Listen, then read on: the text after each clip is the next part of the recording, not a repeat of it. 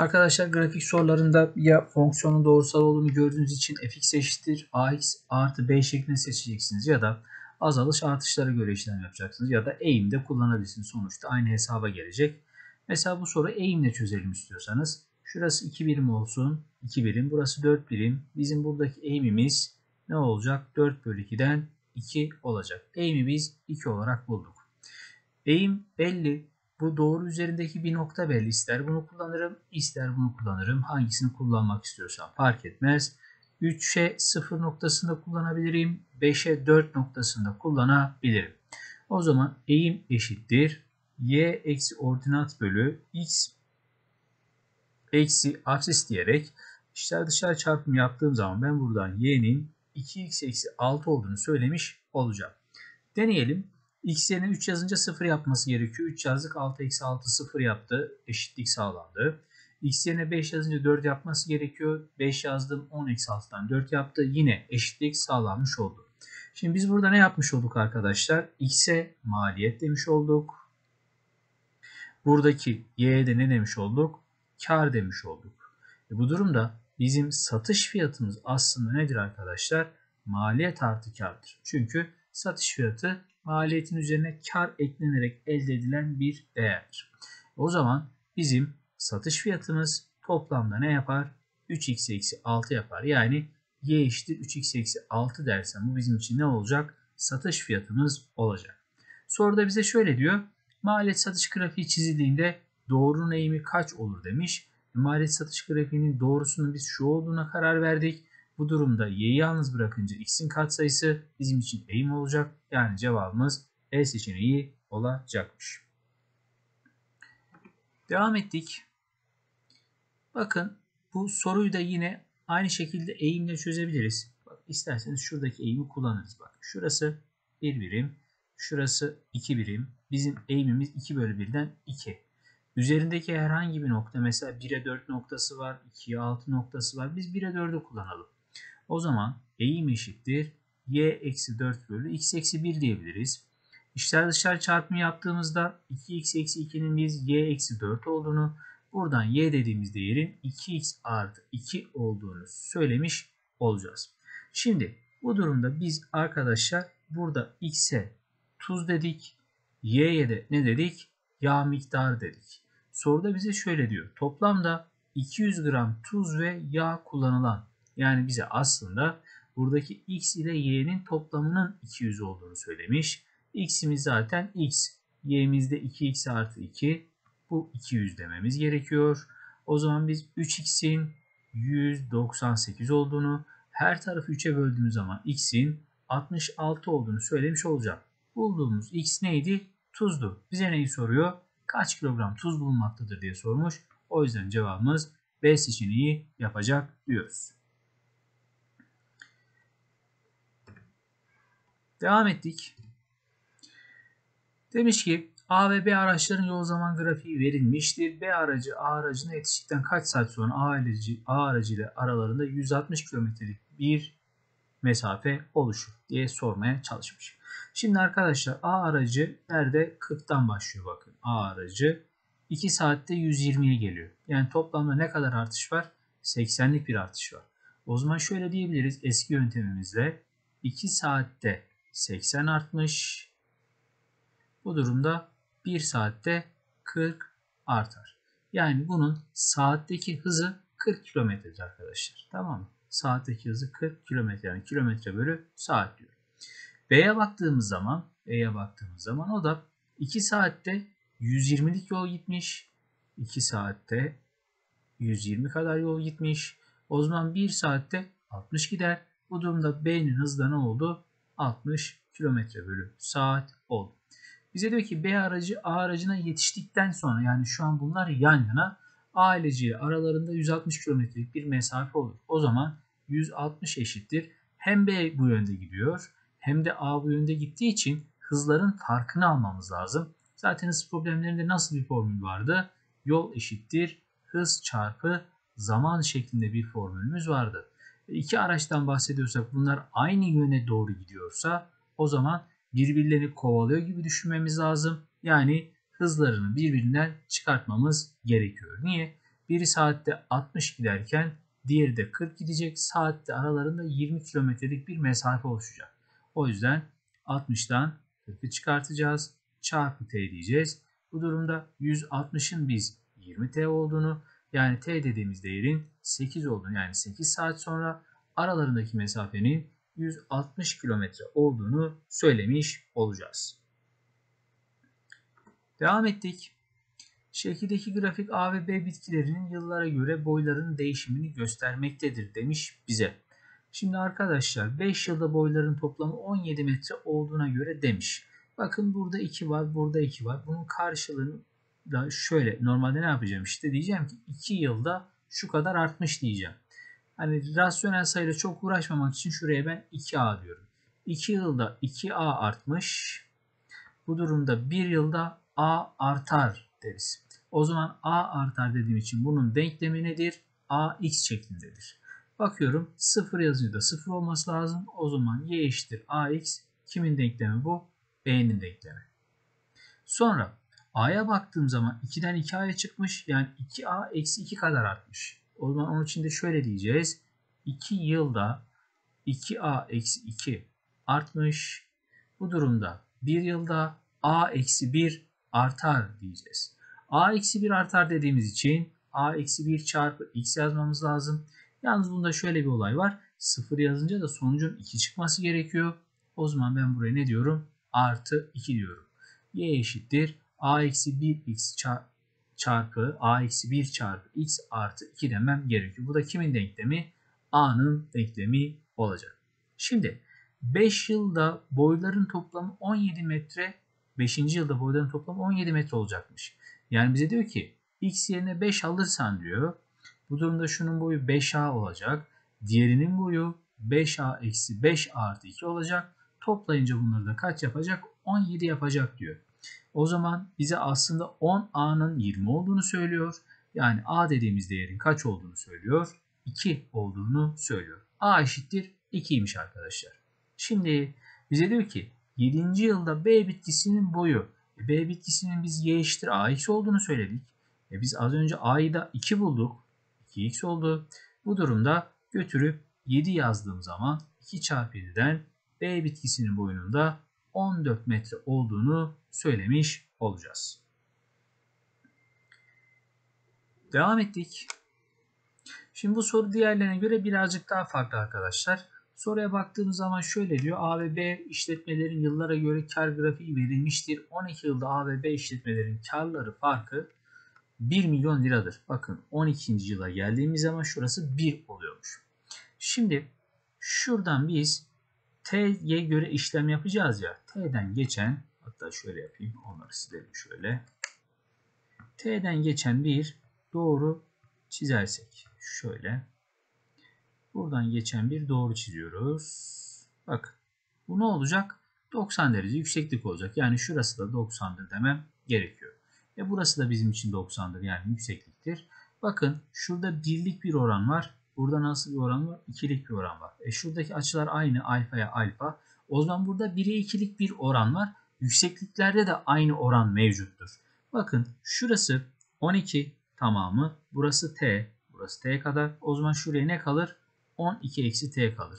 O zaman soruda bize aslında bakın 1'e 2 oranı dediği için t dediğimiz değerin yani şuradaki uzunluğun buradaki uzunluğun yani 12 eksi t'nin 2 katı olduğunu söylüyor. Yani t dediğimiz değer 24 eksi 2t yapacak. Buradan bizim 3t dediğimiz değer 24'tür. Yani t dediğimiz değer kaç eşittir? 8'e eşittir. O zaman kaçıncı yılda karları birbirine eşit olur demiş. Biz buradan t'yi 8 bulduğumuz için cevabımız D seçeneğidir diyeceğiz. Devam ettik. Arkadaşlar mum soruları. Bu mum sorularından problemler konusunda da karşılaşırsınız mum sorularıyla. Bunu iki yolla çözebilirsiniz. Birinci yol ben genelde bu birinci yolu kullanmayı daha çok seviyorum ama ikinci yol bazı arkadaşlara daha kolay gelebiliyor. Şimdi olay şu. Diyorum ki bunlardan bir tanesi biri ya da birinci mum diyelim 10 dakikada bitiyor. İkinci mum kaç dakikada bitiyor? 15 dakikada bitiyor. Şimdi boyları eşit zamanların farklı olmasının sebebi şu. Bu mumlar farklı maddelerden yapılmıştır. Boylarında biz kaç alalım? Eşitlikten bahsettiği için boyları da 1 olsun. Tekrar x filan karıştırmanıza gerek yok çünkü karıştırsanız bile onlar bir şekilde sadeleşecek. O zaman biz diyoruz ki arkadaşlar normalde birinci mum 10 dakikada bitiyorsa 1 dakikada 1 bölü 10'u biter. Diğer mum 15 dakikada bitiyorsa 1 dakikada 1 bölü 15'i biter. Şimdi bunların ikisi aynı anda yakılacak ve kaç dakika sonra boylarının oranı birinin boyu diğerinin boyunun 2 bölü 3 olacak diyor ya. O zaman eşit sürede yanacaklar. Yani bu t dakika yandığı zaman t bölü 10'u biter. Bu t dakika yandığı zaman t bölü 15'i biter. Bakın bu yazdıklarımız bunların yanan kısımları. Yani eridi gitti bunlar. Eğer ben bunu alır yani bunları kendi boylarından çıkartırsam bu sefer buldum şunun tamamı ne olur? E, mumların kalan kısımları olur. Şimdi buradan sonra yapacağımız işlem şu arkadaşlar. Bu ikisini oranlayacağız. Evet. Bu iki arkadaşı eşitleyeceğiz. Ya 2 bölü 3'e ya da 3 bölü 2'ye. Her zaman burada verilen eşitleyeceksin diye bir şart yok. Bazen 3 bölü 2'ye eşlemek zorunda kalabilirsiniz. Neden? Çünkü burada bir oran var. Orana göre büyük sayının karşısında büyük sayı, küçük sayının karşısında küçük sayı olmak zorunda. Şimdi bu durumda ben diyorum ki t bölü 10 normalde t bölü 15'ten daha büyüktür. Ama ben bunu birden çıkarttığım zaman burası yani 1 eksi t bölü 10 daha küçük bir değere dönüşür. O yüzden küçük sayının karşısında küçük sayı, büyük sayının karşısında büyük sayı olacak deyip ben buraya 2 bölü 3 yazmalıymışım. Ama soruda 3 bölü 2'si de olabilir diyebilirdi. O yüzden 2 bölü 3 ya da 3 bölü 2 olanı bu şekilde oranı, oran orantıyı kullanarak büyük sayının karşısında büyük sayı, küçük sayının karşısında küçük sayı olacağını düşünerek karar vermeniz gerekiyor. Ve buradan sonra işler dışarı çarpımı yapıyoruz. 3 ile çarptık 3 eksi 3 bölü 10 t eşittir. 2 ile çarptık 2 eksi 2 bölü 15 t. Yani 2 diğer tarafa atınca 1 kalacak. 3t bölü 10'u bu tarafa atınca 3t bölü 10 eksi 2t bölü 15 olacak. Burayı 3 ile burayı 2 ile genişlettiğim zaman 9 eksi 4'ten 5t bölü 30 yapacak. Düzenlerseniz siz buradan t'yi kaç bulacaksınız? 6 bulacaksınız. t eşittir neymiş? 6'ymış. Yani 6 saat sonra birinin boyu diğerinin boyunun 2 bölü 3 olacak. Başka bir çözüm metodu şu şekilde arkadaşlar. Dersiniz ki ben bunların boylarını okek 10 ve 15'i kullanarak kaç alırım? 30 alırım. Boylarını 30 aldık. O zaman ikinci yol için şöyle diyeceğiz. Bakın.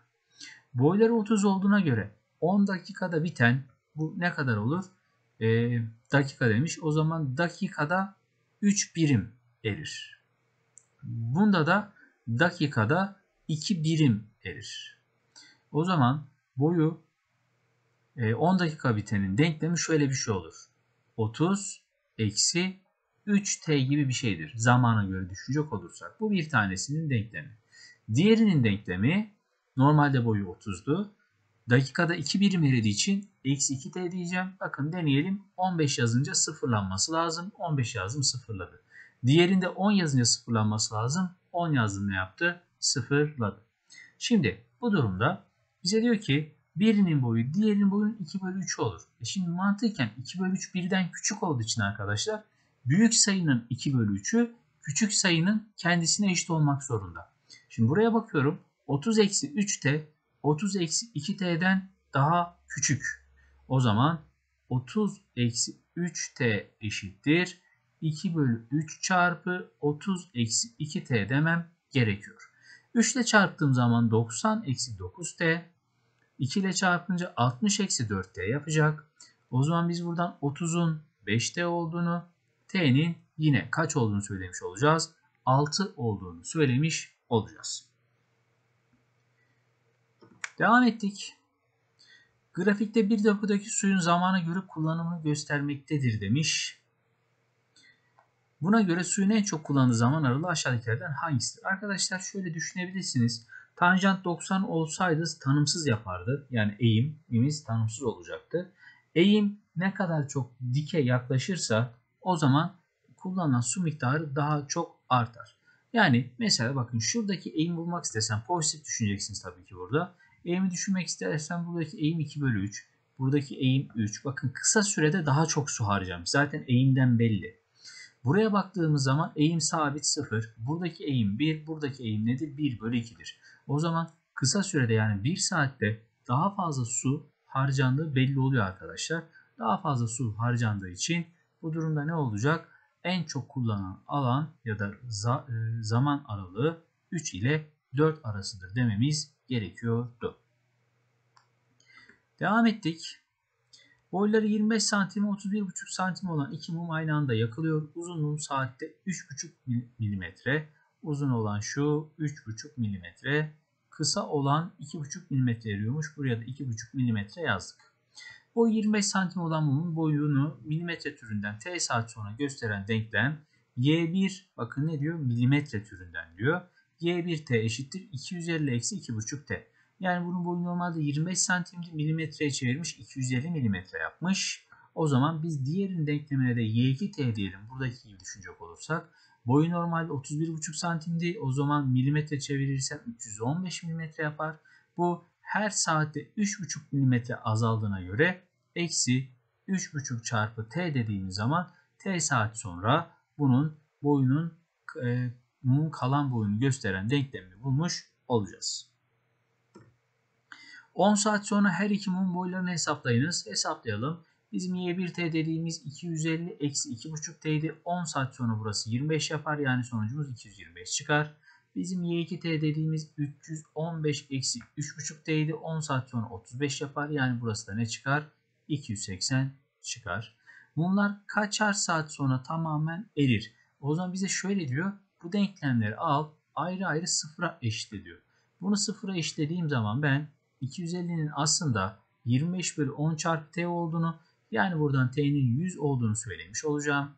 315 eksi 3,5 t'nin 0 olduğunu söylersem 3,5 t'nin 0 olduğunu söylersem 315'in 35 bölü 10 çarpı t olduğunu 35 ile 315 birbirinin 9 katı t'nin buradan 90 olduğunu ki bunlar saatte eriyen mumlar olduğu için buraya 100 saat buraya da ne yazmam gerekiyor?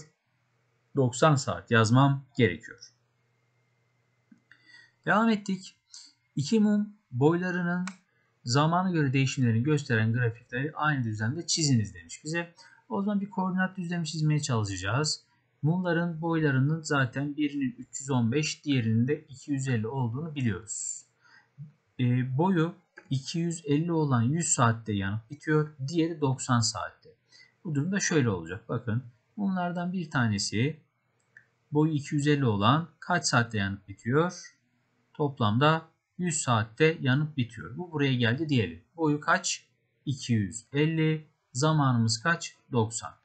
Diğeri, diğeri onu da turuncu ile çizelim. Boyunun 315 olduğunu biliyorum ama pardon burası 100 saat olacaktı az önce. Yanlış yazdık. Bunun 100 olduğunu biliyoruz. Öbürü yani boyu 315 olanın da normalde 90 saatte eriyip bittiğini biliyoruz. Diğeri de 100 saatte. İkisini gösterdiğimiz zaman grafikte bu şekilde gösterebiliriz. Bu durumda biz y ekseni boy olarak kabul ettik. Buradaki ekseni ne olarak kabul ettik? Saat yani zaman olarak kabul ettik. Yani zaman kabul ettik. Bu da hangi birimden? Zamanımız saat biriminden olacak dememiz gerekiyordu. Devam ettik. Bunların boylarının kaç saat sonra eşit olacağını grafik yardımıyla bulunuz. Arkadaşlar orada e, grafik yardımıyla denklem bularak işlem yapmamız lazım. Yani eğim kullanacağız aslında. Şuradaki karşılığındaki yani t olunca ne gelecek ona karar vermemiz gerekiyor. Ona göre eğim kullanarak işlem yapmalıyız. Bunun yerine zaten bizim elimizde denklemler olduğu için arkadaşlar şöyle bir şey yapabiliriz. Hatta burada da yapabiliriz. Mesela t olduğu zaman şuradaki nereye gidecek? Gerçi yine denklem kullanmış olacağım. İkinci maddeyle aynı şey. O zaman denklem kullanarak yapıyorum. 250 eksi 2,5 t'nin biz eşit olmasını istiyoruz. 315 eksi 3,5 t'ye. 3,5 t'yi bu tarafa atınca 1 t yani t kalır. 250'yi bu tarafa atınca ne kalır? 65 kalır. Yani 65 saat sonra bunların boyları birbirine eşit olacakmış. Devam ettik. Mumların aynı anda tamamen erimesi için hangi mum kaç saat sonra yakılmalıdır? Şimdi arkadaşlar birinin 90 saatte bittiğini, diğerinde 100 saatte bittiğini biliyoruz ya. İlk başta e, boyu 250 olan yakılacak 10 saat e, yanacak o. O zaman o 10. 10. saatin sonunda da boyu 315 olan da yakılacak. Bu durumda ikisi de toplamda 90 saatte bitmiş olacak. Yani ne diyeceğiz? Boyu uzun olan uzun olan kaç saat sonra? 10 saat sonra yakılacak. Yakılınca ikisi aynı saatte biter. Ve bu durumda boyların zamana göre değişimini gösteren grafiklerin aynı düzlemde çiziniz demiş bize. O zaman ne yapıyoruz arkadaşlar? 10 saat boyunca yandığında biz burada bu mumda artık 225 santimlik bir uzunluk kaldığını biliyoruz. Ne yapacağız? Diyeceğiz ki bunu buradan aldık. 225.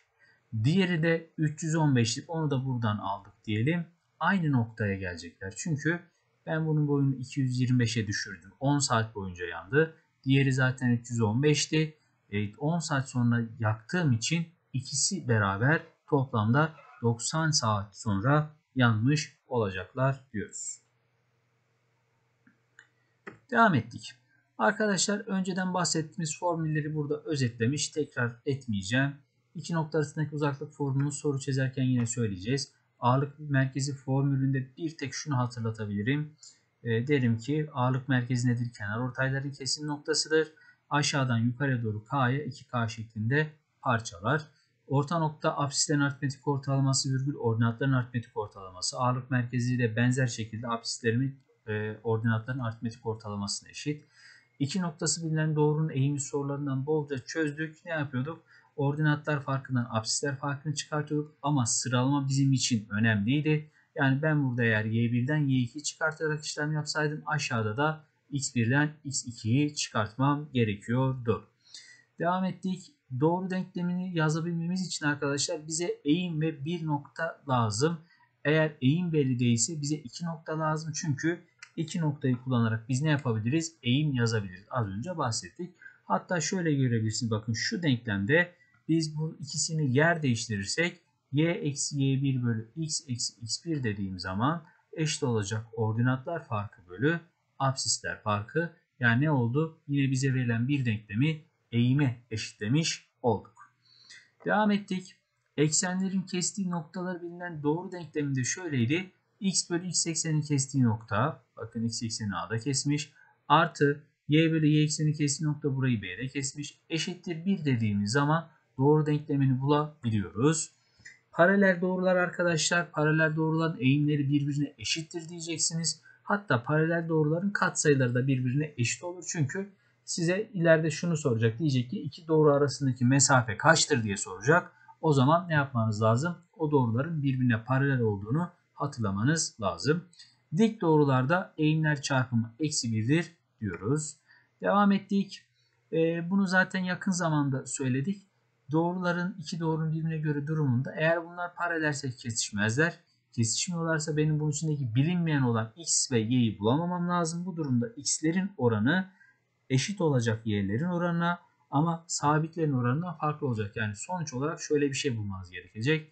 5 eşittir 7 ya da 3 eşittir 13 şeklinde bir eşitlik bulursak biz bunun çözüm kümesinin boş küme olduğunu, çözüm kümesi boş küme olduğu için de bu doğruların birbirine paralel olduğunu söyleyebileceğiz. Devam ettik. Çakışma dediğimizde doğruların aynı olmasıdır arkadaşlar. Yani çözüm kümesinin sonsuz elemanlı olması, yani her x y'nin bunu sağlaması, yani reel sayılarla ilgili işlem yapmamız gerekiyordur diyoruz. O zaman şimdi şöyle düşünelim. Bunun içindeki bilinmeyen x y'yi ben bulsam zaten bir tane bulurum. O zaman x ile y'yi benim bulamamam gerekiyor. Yani x'ler ve y'ler birbirini yok edecek. O zaman x'lerin oranı y'lerin oranı eşit olacak. Aynı zamanda bunda sabitlerin oranı da eşit olmak zorunda. Yani siz şöyle 10 eşittir 10, 5 eşittir 5 diye doğru bir eşitlik bulup çözüm kümesinin reel sayı olduğunu söyleyeceksiniz. Bu durumda bu doğruların çakışık doğrular olduğunu yani aynı doğrular olduğunu söylemiş olacaksınız. Kesişme dediğimiz zaman da arkadaşlar e, çakışık veya paralel olan paralel olmayan doğrular pardon çakışık veya paralel olan doğrular kesiş e, bunların ortak bir noktası yok. Bu durumda çakışık olmayan ya da paralel olmayan doğrular arkadaşlar tek noktada kesişirler. E, bizim bunu bulmamız için ne yapmamız gerekiyor? X'lerin oranı Y'lerin oranından farklıdır dememiz lazım. TET'de bu denklemler konusunda bunun sorusu şöyle olur. Size bir doğru denklemi verir. İçinde bilinmeyen vardır. Bu doğruların çözüm kümesi tek elemanlı olduğuna göre o içindeki bilinmeyen atıyorum A. A'nın alamayacağı değerler toplamı ya da pardon A'nın alabileceği değerler toplamı tam sayı değerleri toplamı kaçtır diye sorar. Ama orada şöyle bir sıkıntı var. Artık onu sormaktan yavaş yavaş vazgeçtiler. Ve sonuçta buradan tek değer çıkacak atıyorum 3. O zaman bunun alabileceği değerler toplamı eksi 3 yapar deriz biz. Ama sonsuz tane tam sayının toplamını birbirini götürdüğünü söylemek çok da doğru değil. O yüzden yavaş yavaş onu sormamaya başladılar. Devam ettik. Noktanın doğruya olan uzaklığında yapacağımız işlem şu, şuydu. Apsisi x yerine ordinatı y yerine yazıyorduk bölü kök içerisinde doğru denkleminde verilen e, x'in ve y'nin katsayıların kareleri toplamı diyorduk. Devam ettik. Paralel doğrularda ilk dikkat edeceğiniz şey buradaki x'lerin ve y'lerin katsayıları eşit olmak zorundaydı arkadaşlar. Eğer bu eşitliği sağladıysanız mutlak değer ne diyeceğiz? Sabit sayıların farkı bölü kök içerisinde yine doğru denklemde bulunan a ve b'nin e, şey x ve y'nin katsayıların kareleri toplamı demeniz gerekiyordu. Evet sorulara geldik. Arkadaşlar artık bu çapın içerisindeki acemi, uzman, şampiyon ve ÖSYM testleri kısmına geçiş yaptık. Seri bir şekilde soruları çözeceğiz. Sıkıntı olursa müdahale edersiniz. Evet iki doğru arasındaki uzaklıktan bahsediyorsa arkadaşlar bunların kesinlikle size paralel olduğunu söylemiştir. Bu durumda x'lerin katsayıları y'lerin katsayıları eşit olacak ki bunlarda eşitlik var. O zaman şöyle yapıyoruz. Sabitlerin farkı 5'ten eksi 15'i çıkartacağız bölü. Kök içerisinde x'in katsayısının karesi artı y'nin katsayısının karesi. Yukarısı 20 yaptı. Aşağısı 5 yaptı. O zaman bizim cevabımız kaç çıktı? 4 çıktı. Yani bizim seçeneklerden 4'ü bulmamız gerekiyordu. Devam ettik. Şekilde şimdi bu soruya baktığımızda e, ne demiş? Taralı bölgenin alanı nedir diye sormuş bize. Şöyle bir şey yapabiliriz. Büyük üçgenden küçük üçgen alanı çıkarttığımız zaman sıkıntı kalmayacak diye düşünüyoruz. Şurası toplamda normalde 8 birim arkadaşlar. Yukarıdan aşağı 5 birim. Bu durumda 8 çarpı 5 bölü 2 büyük üçgen alanı. Eksi. Şurada küçük üçgen alanı çıkarttığımız zaman yani 1 çarpı 2 bölü 2'yi çıkarttığımızda sonuca ulaşmış olacağız. O zaman biz 20'den 1 çıkartıp cevabın 19 olduğunu söyleyebiliriz. Devam ettik. Analitik düzlemde köşelerin koordinatları ABC üçgensel bölgesinin ağırlık merkezinin koordinatları aşağıdakiler hangisidir demiş bize. Ağırlık merkezinin formülü kolay bir formüldü arkadaşlar. Neydi? Köşe noktalarını biliyorsak absisler toplamının e, yani absislerin aritmetik ortalaması diyorduk. O zaman eksi 1 artı 4 artı 3 bölü 3 diyeceğiz virgül. Ordinatların aritmetik ortalamasından 5 artı 2 artı eksi 1 bölü 3 diyeceğiz. O zaman yukarısı e, absisimiz 6 bölü 3'ten 2 oluyor. Burada da bakıyorum ordinatımız da 6 bölü 3'ten 2 yapıyor. Yani biz 2'ye 2 noktasının ağırlık merkezi olduğunu bulmuş oluyoruz. Devam ettik. Bize demiş ki ABC bir üçgen olduğuna göre e, alan ABC kaç birim karedir diye sormuş bize. Arkadaşlar şimdi burada ne yapabiliriz? Deriz ki şurasının uzunluğunu bulduk. Burayı da bulduk diyelim. Eğer biz bir ikizkenar üçgen elde edersek ki bakıyorum 4, 3, 5 burası 5 birim arkadaşlar. Buradan da yine 3, 4 buradan da 5 geliyor. Bir ikizkenar üçgen elde etmişiz. Hatta şuraya baktığımız zaman ne oluyor ona bakalım. 8 geliyor yani 2 kök 2 geliyor. Neyse o zaman şu yukarıdan aşağıya indirdiğimiz dikme nedir arkadaşlar? İndirdiğimiz dikme burayı iki eşit parçaya ayıracaktır. Şuradaki uzunluğunda biz ne olduğunu söylüyoruz. Bakalım 8'in karesinden 8 yapıyormuş. Bu durumda burası 4. Burası da ne çıktı? 4 çıktı. Yani burası 3 oldu. O zaman bizim buradaki alanımız 3 çarpı 4 bölü 2'den 6. Buradaki alanımız yine 3 çarpı 4 bölü 2'den 6. 6 artı 6'dan toplam alanın biz 12 olduğunu söylemiş olacağız. Ya da B ve C'den geçen doğru denklemi bulursunuz. O doğruya A noktasının uzaklığını bulduğunuz zaman yüksekliği bulursunuz. Bir de B ve C arasındaki uzaklığı bulduğunuz zaman taban çarpı yükseklik bölü 2'den de aynı sonuca ulaşabilirsiniz. Devam ettik. Analitik düzlemdeki M noktasının ordinatı, ordinat dediğimiz noktadaki ikinci elemandı. Yani bize aslında 4x artı 1'den bahsediyor. N noktasının apsisinin yani şuradaki apsisin 2 artı 11x'in kaç katıymış? 2 katıymış demiş bize. O zaman bizim 4x artı 1 dediğimiz değer bunu dağıtınca 4 artı 22x olacak. E, hepsini düzenleyecek olursak Tabi az önce ben absisi yanlış aldım değil mi? Evet. Absis dedi biz yine ordinat aldık. Diğerinde absisten bahsediyormuş. Burada ne alacağız? 4 eksi x alacağız. 2 ile çarptığımız zaman 8 eksi 2x oldu. Düzenlersek buradan 6x'in 7 olduğunu yani x'in buradan 7 bölü 6 olduğunu söylemiş olacağız. Devam ettik x eksenini eksi 2 0 noktasına kesen ve y eksenine paralel olan doğrunun eğimi. Arkadaşlar şu bizim koordinat eksenimiz olsa x ekseni bu eksi 2 0 noktasına kesiyormuş ve y eksenine paralelse arkadaşlar burası 90 derecedir. O zaman bunun eğim açısı 90'dır. Yani bizim tanjant 90'ı kullanarak eğim bulmamız lazım ki biz bunun ne olduğunu biliyoruz. Tanımsız olduğunu biliyoruz. Devam ediyoruz bir karenin karşılıklı iki kenarından bahsediyorsa arkadaşlar aynı doğru üzerinde olmasını yani paralel doğrular üzerinde olmak zorunda. Bu durumda bakın 2x, 2x ve y, y. X'lerin ve y'lerin katsayıları eşit olduğu için bu iki doğru birbirine paraleldir. O zaman biz bu iki doğru arasındaki uzaklığı bulursak aslında karenin bir kenarını bulmuş olacağız. İki doğru arasındaki uzaklık mutlak değer Sabitlerin farkından eksi 3 eksi 3 diyorum bölü kök içerisinde 2'nin karesi artı 1'in karesi. Yani yukarısı 6 aşağısı kök 5. Bu karenin kenar uzunluğudur. Bize neyi soruyor? Karenin alanı soruyor. O zaman 6 kök 6 bölü kök 5'in karesini aldığımız zaman seçeneklerden bizim 36 bölü 5'i bulmamız gerekiyordu. Devam ettik. Grafiği verilen doğrunun denklemi aşağıdakilerden hangisidir demiş. Arkadaşlar yapacağımız şey şu.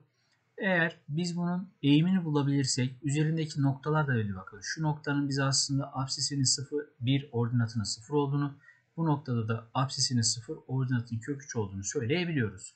Eğimi de x eksenine yaptığı pozitif yönlü açının tanjantları. Bu ne, e, geniş açı olduğu için bizim eğimimiz kesinlikle negatiftir. Tanjanttan da karşı bölü komşu deyip eğimin eksi kök olduğunu söyleyebiliriz. O zaman eşittir diyorum. y eksi ordinat bölü x eksi absis deriz. İşler dışarı çarpımı yapınca eksi kök 3x artı kök 3 dediğimiz değer y'ye eşittir. Bu durumda bizim y dediğimiz değer artı kök 3x eksi kök 3 eşittir 0 şeklinde bir doğru denklem elde etmemiz gerekiyor. Yani cevabımız ne olacakmış? A seçeneği olacakmış. Devam ettik. Benzer bir soru. Aynı şekilde arkadaşlar şuradaki eğim açısı nasıl bir açı? Dar açı olduğu için bizim eğimimiz kesinlikle pozitif. Karşı bölü komşudan biz eğimin 3 bölü 5 olduğunu söyleyeceğiz. O zaman eğim 3 bölü 5 eşittir. Y eksi ordinat bölü x eksi apsis demem gerekiyor. Ya buradaki eksi 5'e 0 noktasını kullanmalıyım ya da buradaki 0'a 3 noktasını kullanmalıyız. Bu sefer 0'a 3'ü kullanalım. Bakın burası 3 oldu, burası 0 oldu. İşler dışarı çarpım yapınca 3x'in biz 5y eksi 15 olduğunu söyleyeceğiz. Hepsini bir tarafa toplarsak 3x eksi 5y artı 15 eşittir 0 şeklinde olacak. 3x eksi 5y artı 15 yani cevabımız A seçeneği olacakmış. Devam ettik. Analitik düzlemde başlangıç noktasının apsisine 2 eklenir. Arkadaşlar apsise 2 eklemek demek 2 birim sağa gitmek demektir. 2 birim sağa gittik. Ordinatından 3 çıkartılırsa o zaman 3 birim aşağıya gitmemiz gerekiyor. 1, 2, 3 dediğimiz zaman hangi noktayı bulduk? B noktasını bulmuş olduk. Devam ettik. Analitik düzlemde P noktasının apsisi dediği zaman bizim A artı 1'i Q noktasının ordinatı dediği zaman 5 eksi a'yı kullanmamız lazım. 3 katı dediği için çarpı 3 deyip ne yapmam gerekiyor? Birbirine eşitlemem gerekiyor. O zaman a artı 1 eşittir. 15 eksi 3a'dır. Hepsini bir tarafa toplamayacağız. A'ları bir tarafa aldık. 4A sabitleri bir tarafa aldım. 14. Buradan bizim A dediğimiz değer kaç olacakmış? 7 bölü 2 olacakmış. Yani cevabımız B seçeneği oluyor.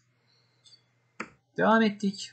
Analitik düzlemde K noktası x ekseni üzerindeyse arkadaşlar ordinat kesinlikle sıfırdır. Yani bize K'nın eksi 2 olduğunu söylemiş. K eksi 2 ise biz K noktasını bulmak istersek eksi 2 yerine yazınca eksi 5'e 0 noktasını buluruz. Bize diyor ki bu K ile L arasındaki uzaklık kaç birimdir?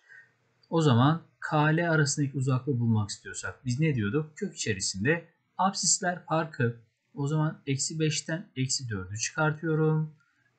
Artı ordinatlar farkı sıfırdan sıfırı çıkartıyorum. Yani düzenlersek burası eksi 1'in karesinden 1 yapar. Kökü de nedir? 1'dir deriz. Noktalarda bu iki nokta arasındaki uzaklıkta önemli olan absisler farkı ve ordinatlar farkını yazmaktı. Sıralı bir şekilde çıkarma işlemi yapmak zorunda değildik. Devam ettiğimizde bize demiş ki aşağıda boyunun uzunluğu eninin uzunluğu en dediğimiz genişliktir boy dediğimiz uzunluktur yani uzun kısımdır. O zaman biz bunun enine x dersek boyuna 3x diyormuşuz arkadaşlar. Bu durumda burası da 3x. Yani şuranın tamamı 4x. E bize buraya 8 dediği için 4x'in 8 olduğunu yani aslında 2 olduğunu söylemiş. Şimdi buradan sonra bunları ne yapıyoruz? Düzenliyoruz. x 2 olduğuna göre burası 6'dır. X2 ise burası 2 birimdir. Burası 2 birimdir. Burası 2 birimdir. Burası 2 birimdir. E, şurası komple kaç birimdir? 6 birimdir. Bakın buranın tamamı 6 birim. 2 de burada var. O zaman B noktasının ordinatı 8 birim. E şimdi bakın sonuçta bu dikdörtgen hala şurada da eni kadar bir boyu vardır. O yüzden 2 oldu. 2 de burada var. Toplamda burası 4 oldu. C'nin karşılığı 4 çıktı. E D noktası bakın zaten 2 ile alakalı. Bunun karşılığı da 2 oldu. Yani B noktasının ordinatı 8. C'ninki 4. D'ninki 2 çıktı. Bunları topladığımız zaman bizim seçeneklerden 14'ü bulmamız gerekiyordu. Devam ettik. Bir önceki ders çözdüğümüz denklemlerle alakalı eğim kullanarak yapabiliriz. O zaman şurası 0,2 ise burası da 1 olduğunu göre bizim eğimimiz 0,2'dir. Eğim eşittir. Y eksi ordinat bölü x eksi absis deyip buradaki 0 0 kullanabiliriz. Yani bizim doğru denklemimiz 0,2x şeklinde olacak. O zaman biz burada ne yaptık? X ekseninde ne var? Karışım miktarı. O zaman bizim x'imiz karışım miktarıdır. Y'miz de nedir arkadaşlar? Toplamda tuz miktarıdır demeniz gerekiyordu. Bize diyor ki 100 kilogramlık bir karışımda arkadaşlar 100 kilogram karışım demek x'i 100 al demektir. O zaman y eşittir 0,2 çarpı 100 olacak. Yani buradan y'nin kaç olması gerekiyor? 20 olması gerekiyor. Kaç kilogram tuz vardır? E bize tuzu soruyor yani y'yi soruyor. O yüzden cevabımız D seçeneği olacak diyoruz. Devam ettik. Analitik düzlemde ardışık olmayan iki köşesinin koordinatları. Arkadaşlar ardışık olmayan iki köşeden bahsediyorsa bunlar mecburen nedir? Karşılıklıdır.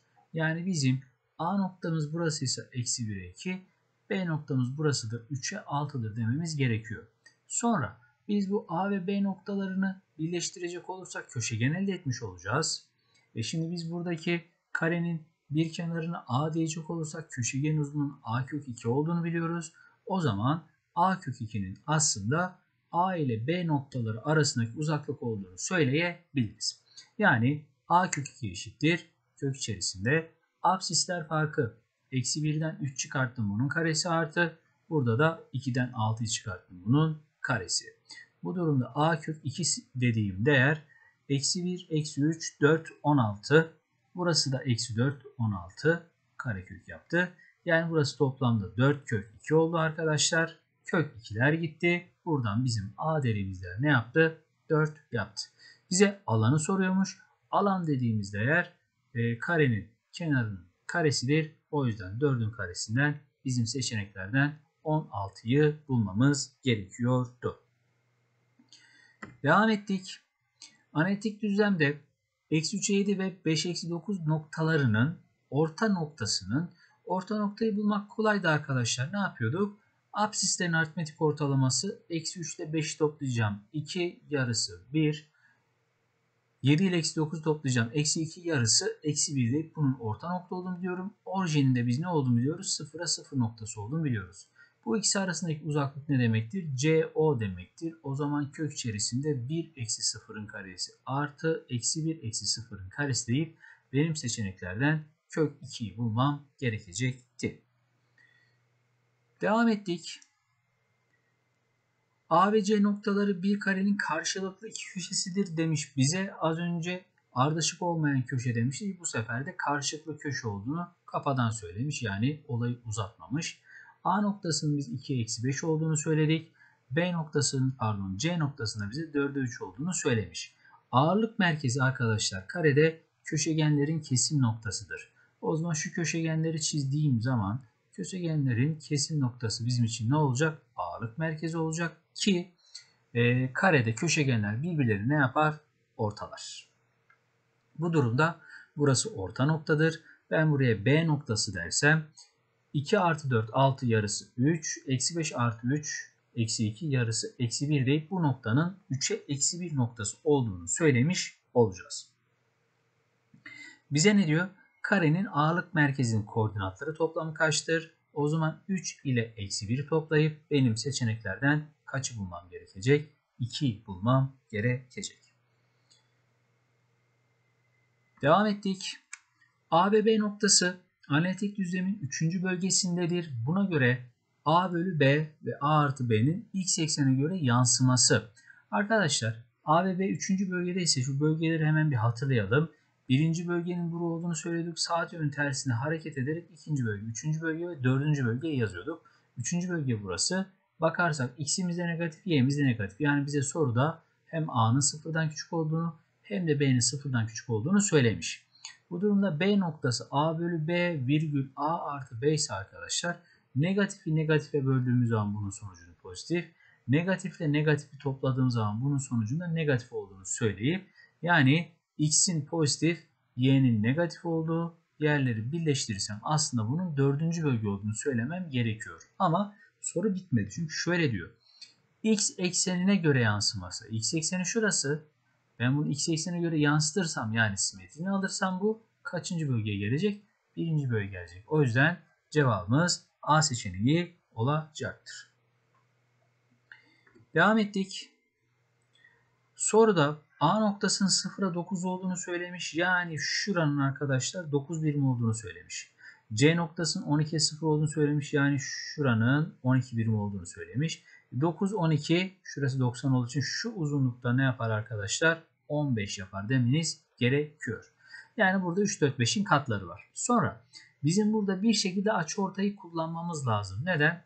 Çünkü B noktasını bulmak istiyorsam ben şuraya a kadar dersem şuraya 12 eksi a kadar demem gerekiyor. E açı ortay vermiş bir de bize. Bu durumda kolların oranı ayakların oranı eşittir veya şuranın oranı diğerlerin oranına eşit. Yani 9'un a'ya oranı 15'in 12 eksi a'ya e, oranına eşittir de, e, deriz. Bunu nereden söyleriz? Açı ortaydan söyleriz. O zaman 3'e böldük 3, 3'e böldük 5. İşler dışarı çarpım yapınca 36'nın 36 eksi 3a'nın 5a'ya eşit olduğunu yani biz 8a'nın 36 olduğunu buradan a dediğimiz değerin 4 ile sadeleştirince 9 bölü 2 olduğunu söylemiş olacağız. Şimdi şu B noktası bu durumda şurası A 9 bölü 2 ise B noktası 9 bölü 2 kadardır. O zaman bu D1 doğrusunun eğimi arkadaşlar 9 bölü 9 bölü 2 kadardır. Ama bunun eksilisidir. Çünkü Açısı nasıl bir açı arkadaşlar? Geniş açı. Eşittir diyeceğim. Y eksi mesela 0'a 9'dan geçiyor ya. Y eksi 9 bölü x eksi 0. Şu 9'lar gitti. Ters çevirdim. Şurası komple eksi 2 yaptı arkadaşlar. O zaman eksi 2x'in biz y eksi 9 olduğunu yani buradan y'nin eksi 2x artı 9 olduğunu söylemiş olacağız. O yüzden cevabımız A seçeneğidir diyoruz. Devam ettik. ABC üçgen BD kenar ortay. Kenar ortayın özelliğini adı üstünde kenarı ne yapıyor? Ortalıyor. Yani burayı iki eşit parçaya ayırmış şekilde de bunu göstermiş.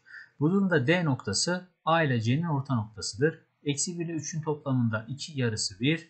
3 ile eksi 5'in toplamı eksi 2 yarısı eksi 1 deriz.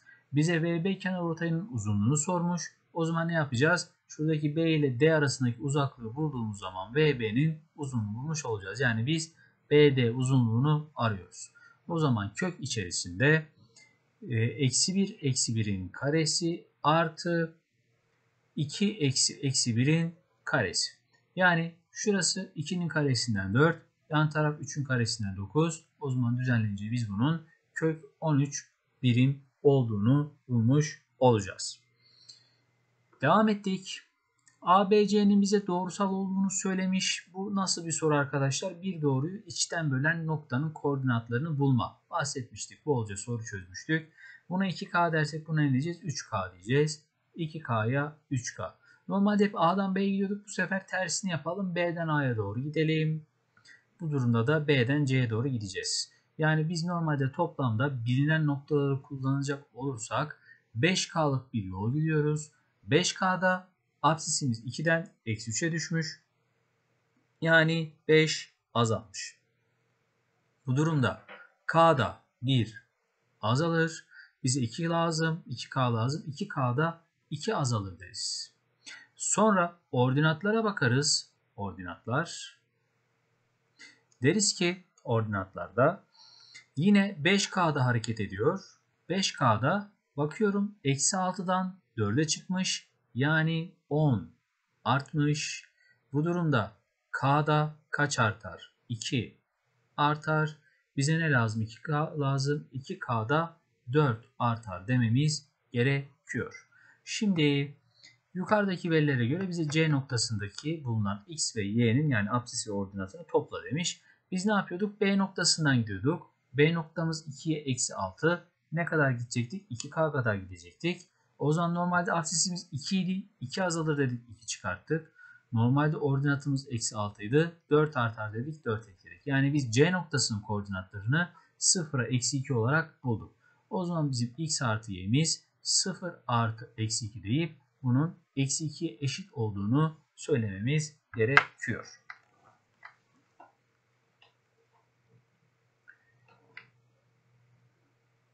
Devam ettik. Demiş ki yukarıda verilenlere göre AOB üçgenin alanı kaç birim karedir diye sormuş bize. Arkadaşlar OA uzunluğunun OB eşit olduğunu söylediği anda aslında şuradaki köşelerin 45'er derece olduğunu söylemiş oldu. Sonra ne yaparız biz? Bu P noktasının apsisini ve ordinatını bu şekilde koordinat eksenine düşürecek olursak.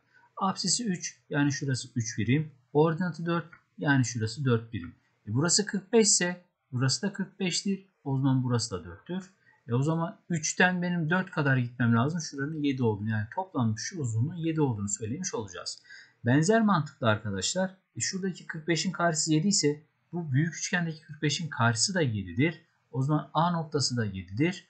Bize AOB üçgenin alanını sormuş. O zaman 7 çarpı 7 bölü 2 deyip seçeneklerden benim 49 bölü 2'yi bulmam gerekiyordu. Yani cevabımız C seçeneği olacakmış. Devam ettik. Analitik düzlemde ABC noktaları doğrusal noktaları veriliyor demiş. Yani aynı doğru üzerindeymiş arkadaşlar bunlar. Bize AC'nin 3K, BC'nin 4K olduğunu söylüyor ve C'nin de bunların eleman olduğunu söylüyor. O zaman ne olacak? AB buralarda olacak, C de içeride olacak. AC 3K olduğuna göre C A'ya daha yakındır. Yani şurası 3K'dır, şurası 4K'dır dememiz gerekiyor. A noktasının bize eksi 3'e 4 olduğunu söylemiş. C noktasının bize x'e y olduğunu söylemiş. B noktasının da bize 5'e eksi 2 olduğunu söylemiş. Biz 3K'dan artı 4K daha ekleyip 7K kadar yol gideceğiz. O zaman absisler dediğimizde diyeceğiz ki 7K'da eksi 3'ten kaça çıktı? 5'e. Yani 8 artmış. Bu durumda K'da 8 bölü 7 artar. Yani 3K'da 24 bölü 7 artar demem gerekiyor. Sonra devam ettik. Ordinat dedik. Ordinatlar. Ordinatlarda yine aynı şekilde 7K'da ne yapmış bakıyorum. 4'ten eksi 2'ye düşmüş. Yani kaç azalmış? 6 azalmış. O zaman K'da 6 bölü 7 azalır. Yani 3K'da 18 bölü 7 azalır demem gerekiyor. Ne yapıyoruz biz? A'dan C'ye doğru gidiyoruz. Yani bizim A noktamız normalde eksi 3'e 4 noktasıydı. 3K kadar gideceğiz. E o zaman bizim C noktamız normalde eksi 3'tü. 24 bölü 7 artar dedik. Normalde neydi arkadaşlar? 4'tü. 18 bölü 7 azalır dedik. Payda işlersek buradan C noktasının 3 bölü 7. Buradan da 21 yine 3 bölü 7 olduğunu söylemiş olduk. Pardon 28 10 bölü 7 olduğunu söylemiş olduk. O yüzden 3 bölü 7'ye 10 bölü 7 yani cevabımız B seçeneği olacak diyoruz. Devam ettik. Bize A ile E arasında bir oran vermiş. 2 bölü 3'ten 2K'ya 3K demiş. A, E arasında 2K dersem E, B arası 3K olacakmış. E, D ile C arasında şu E noktası aynı zamanda orta noktaymış arkadaşlar. O zaman eksi 2 ile 6'nın toplamından 4 yarısı 2. 4 ile eksi 2'nin toplamından 2 yarısı 1 demem gerekiyor. Burada şöyle yapabiliriz bakın olayı çok da uzatmayacak olursak. 2K'da ki artışa bakarız. 2K'da eksi 2'den 2'ye 4 artmış. K'da 2 artar. 3K'da 6 artar. O zaman burası artık 2 idi. 6 artacak 8 oldu. Sonra 2K'da 1'den 1'e geçmiş yani değişmemiş. O zaman yine değişmez. 8'e 1 noktasını elde etmiş oluruz. Ya da az önce çözdüğümüz gibi bu şekilde tek tek yazarak da işlem yapabilirsiniz. Devam ettik. Şimdi bu soru önceki iki sorudan nasıl bir nasıl farklı? Orada da şöyle bir olay var. Az önce bunların arasında bir kat vardı. 2K'ya 3K veya eşit diyordu. Burada herhangi bir şey söylememiş. Burada sadece bunların doğrusal olduğunu söylemiş.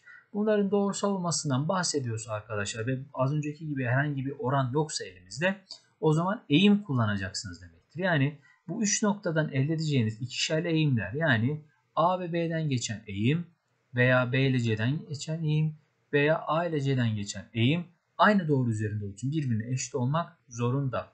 Kesinlikle bildiğiniz iki nokta A ve B olduğu için burada mecburen A ve B'yi bir kullanacaksınız. Kullanmasanız olur ama daha çok K ile uğraşmak yani bilinmeyen uğraşmak zorunda kalırsınız. O yüzden kullanmanız sizin yararınıza. Bir de B ile C'yi kullanalım biz. Eğim B ile C dedik diyelim. O zaman diyoruz ki A ve B için ordinatlar farkından eğer ben 3'ten eksi 1'i çıkartıyorsam bu durumda aşağıda da eksi 1'den eksi, eksi 1'den 1'i çıkartmam gerekiyor. B ile C'yi kullandı. Eğer ben K'dan eksi 1'i çıkartıyorsam bu durumda 5'ten de benim 1'i çıkartmam gerekiyor. O zaman şu sol taraf burası 4 burası eksi 2 olduğu için komple eksi 2 yaptı. Burası K artı 1 burası 4. İşler dışarı çarpma yapınca eksi 8'in biz K artı 1 olduğunu yani K'nın buradan eksi 9 olduğunu söylemiş olacağız. Bize zaten K'yı soruyormuş. O yüzden cevabımız A seçeneği olacak. Devam ettik. Demiş ki bir şehirde aşağıdaki gibi dik kesişen Atatürk Bulvarı Cumhuriyet Caddesi bulunmaktadır demiş. A noktası ve B noktalarında bulunan iki apartman yöneticisi bir fiber optik internet bağlantısı için bir servis sağlayıcıya başvurmuşlardır. Servis sağlayıcı Atatürk Bulvarı'ndan ana hat geçtiğini ve bu hattaki bir noktadan her iki binayda hattın çekileceğini söylemiştik. Bakın dikkat edin bu hattaki bir noktadan diyor arkadaşlar. Bakın Atatürk Bulvarı şurası olduğuna göre burada olan bir hattan geçecek. O zaman bu soruda aslında bakın şuraları birleştirecek olursam ne olduğunu daha rahat göreceksiniz. Şunu şuraya aldık orijini. Bunu buraya aldık. Şurayı birleştirelim. Tam olmadı ama. Şuna benzer üçgenli sorular görmüştük arkadaşlar. Aynısını bu şekilde bir cadde üzerine yerleştirmişler. Burada biz en kısa yolu bulmalıyız. En kısa yolu bulmak için de şöyle pratik bir yöntemimiz vardı. Bu noktalardan herhangi bir tanesinin simetriğini alacaksınız. Onun simetriğini aldığınız zaman doğrusal bir bölge, bir doğru elde edeceksiniz. Yani şöyle, şunun bir simetriğini alırsak, şurayı birleştirdiğimiz zaman şurayı doğrusal hale getirmiş olacaksınız. En kısa mesafe olması için. Şimdi bunun simetriğini aldığım zaman burası hala 3'tür arkadaşlar. Yani şurası yükseklik olarak 3 birimdir. Burası da hala 3. E şuranın da aşağıya doğru indirecek olursak burası 2 birim. Burası 3. Burası 9 birim. Toplamda 12 birim burası yaptı. Toplamda 5 birim burası yaptı. O zaman şurası 5, 12, 13'ten 13 oldu dememiz gerekiyor. Yani biz aslında bunun simetrini alarak bakın şu noktadan hem buraya hem de buraya hat çekiyoruz. Bunun biz en kısa 13 olduğunu yani şu ikisinin toplamının en kısa 13 olduğuna karar verdik. Bu şekilde simetriğini alarak. O zaman biz 13 kilometrelik bir e, ne kullanacağız? Hat kullanacağız. E, kilometre başına da 122 TL aldıklarına göre 13 ile 122 çarpmamız lazım. 120 ile çarpsak 1560 yapar. O zaman 1586'dır diyoruz. Devam ettik. ABC üçgenin DF orta noktalar olduğuna göre ABC üçgenin köşelerinin absisleri toplamı kaçtır? Arkadaşlar absisler toplamını bulmak istiyorsak x1 y1 diyelim buraya. Buna x2 y2 diyelim. Buna da x3 y3 diyecek olursak A ile C arasındaki 2'ye 1 noktası e, orta nokta olduğu için pardon A ile B arasındaki 2'ye 1 noktası orta nokta olduğu için absislerin aritmetik ortalamasına x1 artı x3 bölü 2 y1 artı y3 bölü 2 diyeceğim ve ben sadece absisi kullanacağım için x1 artı x3 bölü 2'nin 2 olduğunu yani buradan x1 artı x3'ün 4 olduğunu söylemiş olacağım.